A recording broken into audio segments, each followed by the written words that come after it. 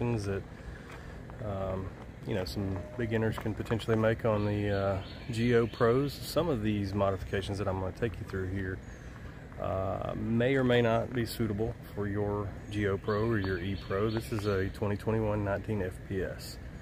Uh, links to all of the products will be in the description down below. Uh, so make sure you check it out if you see a modification that we've done that you like. Uh, mostly Amazon links is what I'll provide, but I'll also tell you if I didn't get it from Amazon, where I got it from and where you can get it from. So uh, we'll start outside and then we'll work our way inside. So first most important uh, for me anyway, modification that I made was the camera, the backup camera. This is from Amazon. It's the Amtifo uh, brand camera. You'll find it in the link below. This was a direct plug and play. Um, pretty much you take the cap off of the base there, you mount this to the cap that's already existing, and there's a plug on the back of this camera that will plug directly into the pre-wired plug for the Geo Pro uh, and or E Pro. Uh, it's a good camera and a fraction of the cost um, of the uh, gosh, what's the name of the brand?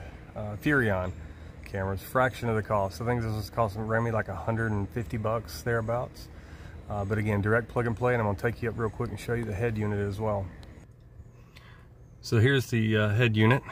Um, these tighten up, so. Uh, anyway, uh, pretty clear. Uh, lots of settings, and you can add additional cameras onto it. I don't have a need for additional cameras, but you can add the side marker cameras on as well.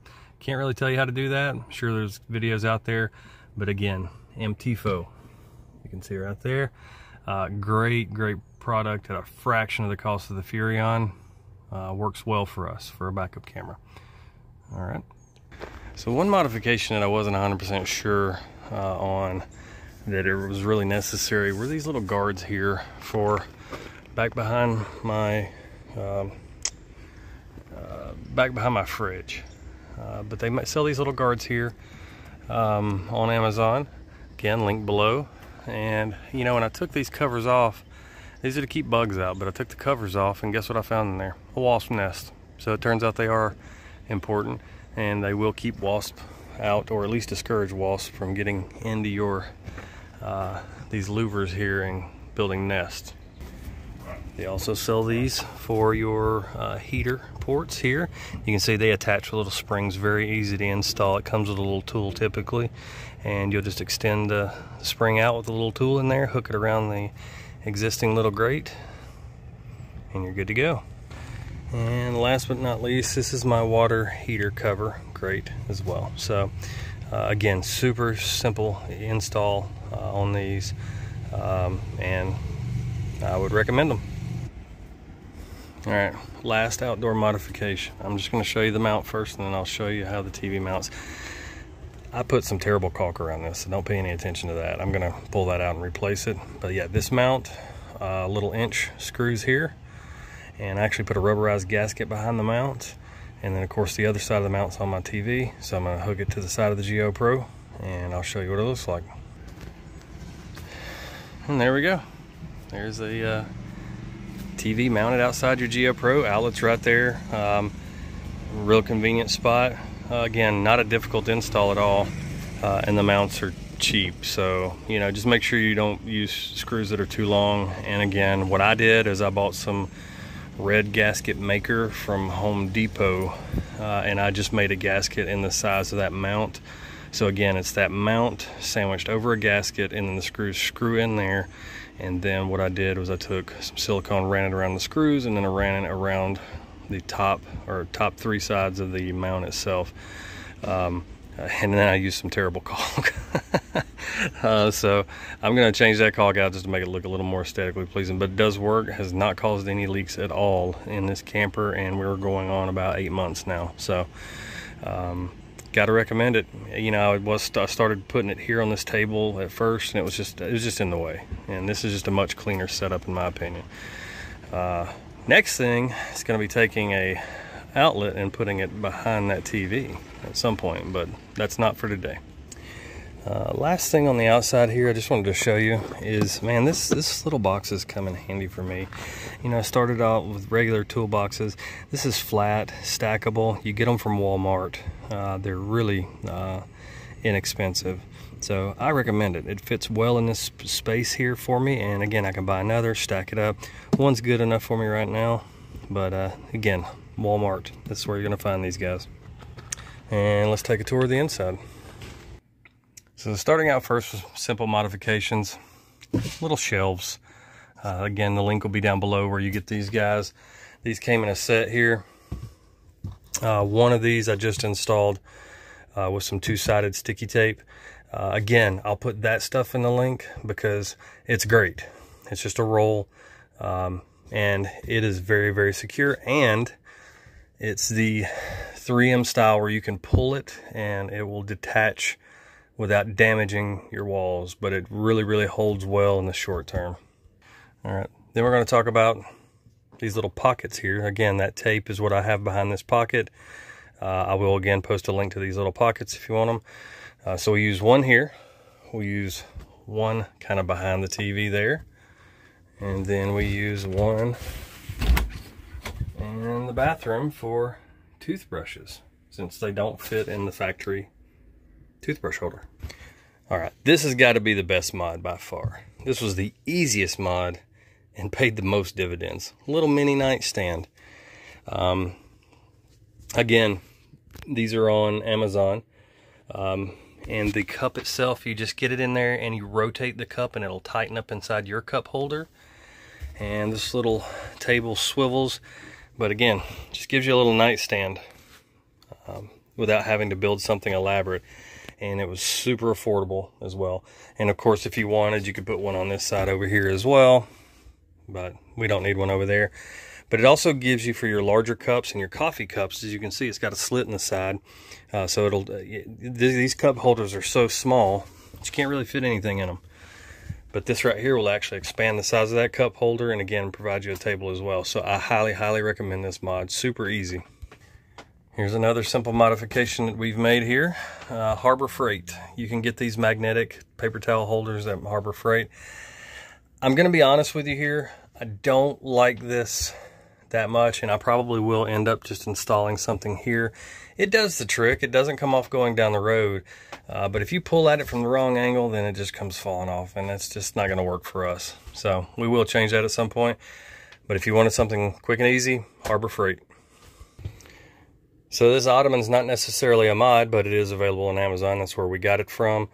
Uh, and it's obviously expanded our storage out substantially. We put a lot of our clothes in there. Uh, the 19 FBS doesn't have a lot of uh, storage space, so this really expands our storage uh, as far as clothes are concerned. So, and of course you can use it for an ottoman, and we'll typically take this wooden uh, this wooden topper that we've got at um, oh gosh, where do we Camping World uh, and we'll put that on there and I may just eat my dinner right there.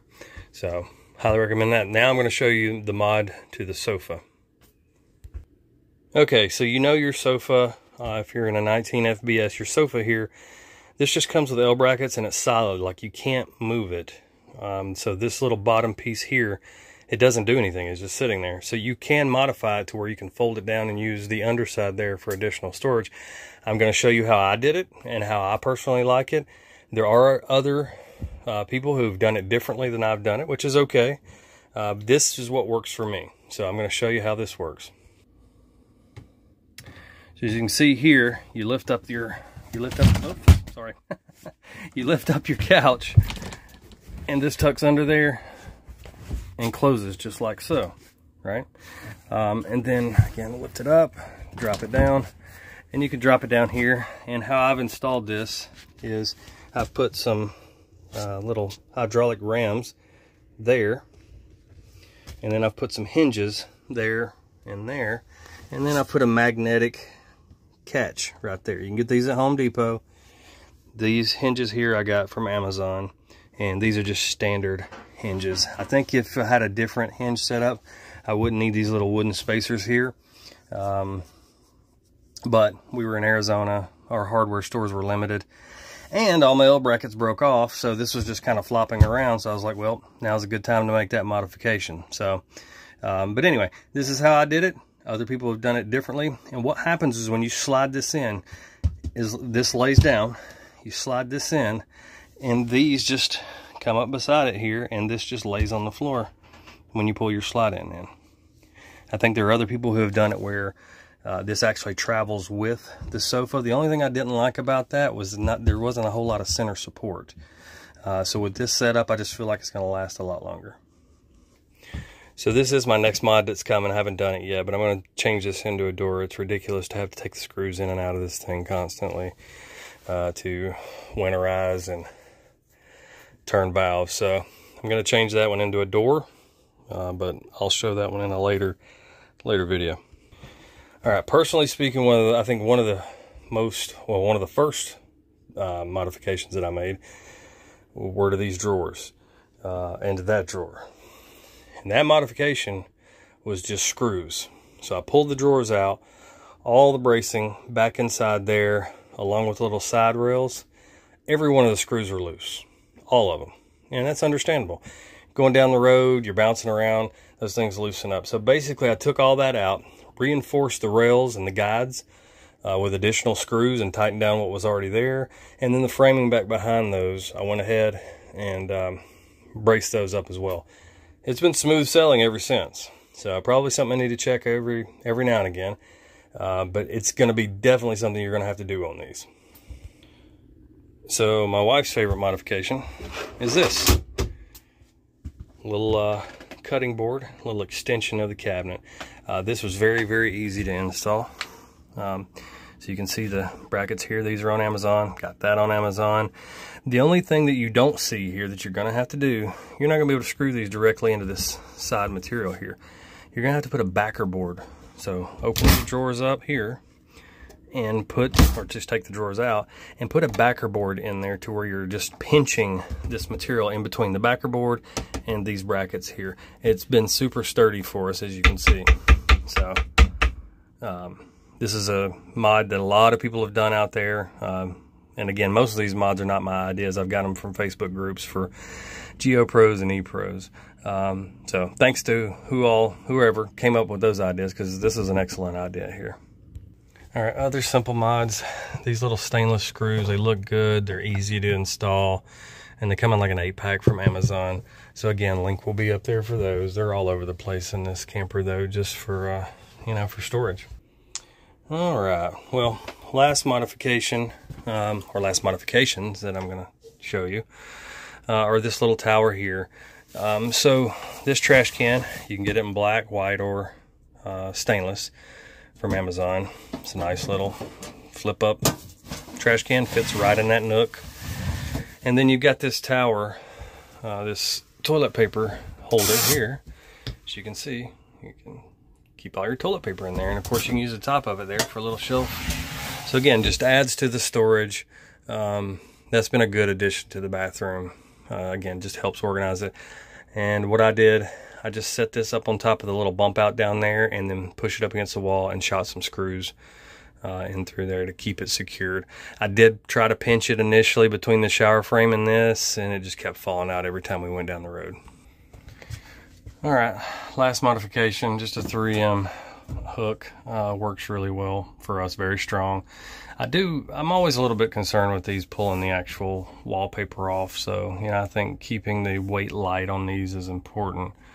Um, but you know, I mean, that's pretty much the extent of what we've uh, what we've done to our trailer. Um, you know, I'll show you one other thing. This Honeywell thermostat. Um, it's a direct plug and play, super simple. The only guidance I would give you is when you're installing it, pull the wires out and have someone hold the wires while you're getting this prepped so your wires don't fall back behind the wall because that can be a pain. Um, but other than that, it's super easy to install. It's two wires, so anybody can do it. Um, and again, you know, the old one's an analog and it doesn't really tell you what the temperature is inside the unit, whereas this one does. And it was inexpensive. I think it was like 40 bucks. But again, I'll have a link to Amazon for that one. But that's about it. I mean, these are all simple modifications for beginners. Um, I am going to move into some more complex stuff uh, in later videos. Uh, and as I modify our trailer, but of course you do all the simple stuff, simple, cheap stuff, you do it right away. Uh, so that's most of what you're finding here is going to be the cheap, simple, easy stuff uh, to do uh, for beginners with, again, ePros or, or um, GeoPro um, travel trailers. So I hope some of you have found this uh, useful. Again, all the links to all the products that I can link will be below. Um, so hopefully this helps somebody and um, I'll be posting up some videos um, in the next couple weeks with some additional modifications. And I think I'm mostly going to kind of gear my videos towards the beginner because I came into this completely flying blind. Like there's nobody to teach me uh, other than some, again, useful Facebook groups.